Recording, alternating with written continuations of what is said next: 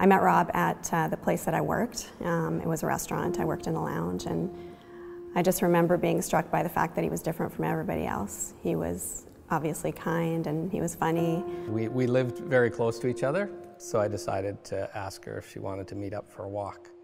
It was a beautiful snowy night. It was, it was pretty romantic, and uh, then that was it. We fell in love, and um, and it moved along fairly quickly, and we thought that we should we should maybe um, make it permanent.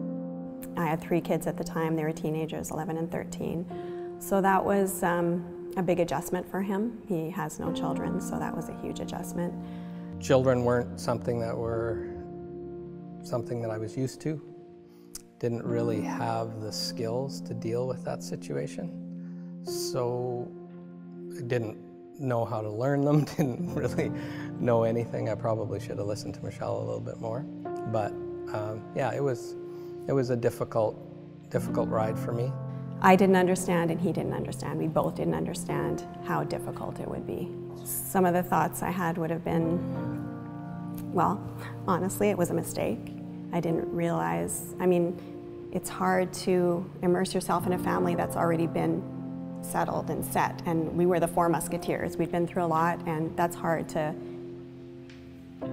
become a part of, even though we were very open, and even the kids were very open. I think that I think that a lot of it had to do with had to do with the, the trying to fix it. If I saw something in Michelle, if I saw something in our household that I didn't like, that I didn't think should be going on, I would try and, and fix it. And I would not, I wouldn't I wouldn't read Michelle the way that I needed to read Michelle. I didn't get to know her and what she was, you know, what she was feeling in a particular situation. And I was so angry, and I realized, I mean, I realize now how angry I was. Um, and I would try, and I would try, and every day something would come up and it would be ugly again. And then one day something just happened, and it was a very like nothing huge, just a comment. And I didn't even get angry. And I think that's what happened at the point when I was ready to leave. I was indifferent. I just, I was indifferent. I didn't get angry. Typically, I would have gotten angry at that. And I just, I think I said, really? And then I just walked away. I just knew I had, I had to leave. Well, the day she moved out was, I didn't really see it coming.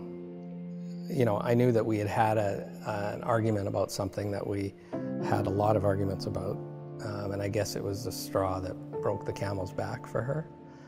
And um, yeah, I mean, what was going on with me was, you know, this can't be happening. You know, I love my wife. I don't want, I don't want her to go. I don't want our family to, you know, fall apart. I don't want, I, I just don't want this.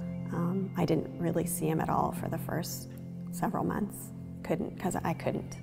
Um, and then later on, things settled down.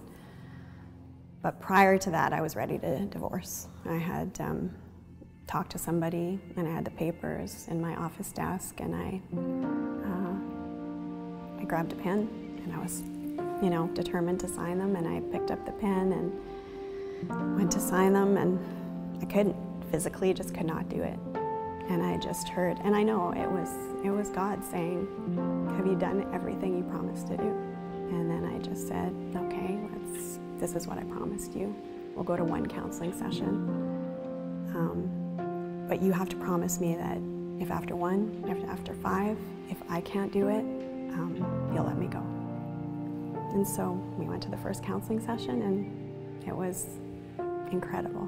I'm probably surprised more than anyone that we're we're here today. Um, very grateful, very happy, very, this is what I wanted all along. And this is the marriage that I wanted all along too, which is pretty amazing because I feel like this marriage has actually just started the way a marriage should be. I think the forgiveness is, is huge and the humility is huge. And that's something that we have our pride. It's such a hard thing for us to do as human beings. I had to forgive and forgive fast. Like, not forgive in this kind of, okay, I forgive you, but then it just keeps kind of, you know, boiling up inside of you as the years go on. That's not, that's not the way Christ forgive, forgave us. So I think just forgiving and forgiving quickly is, is huge to it. And then to have the humility to be able to, to say, hey, I'm doing some stuff wrong here too. Mm-hmm. You know, I made, I made some mistakes and I'm sorry that I made those mistakes.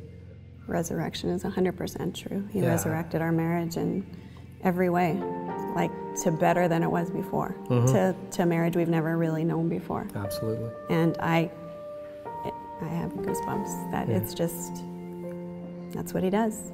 We have a future. And I have no doubt in my mind. I mean, a year and a half ago or however long it's been, I, I didn't see that future. I couldn't even picture that future. And today, that's all I see.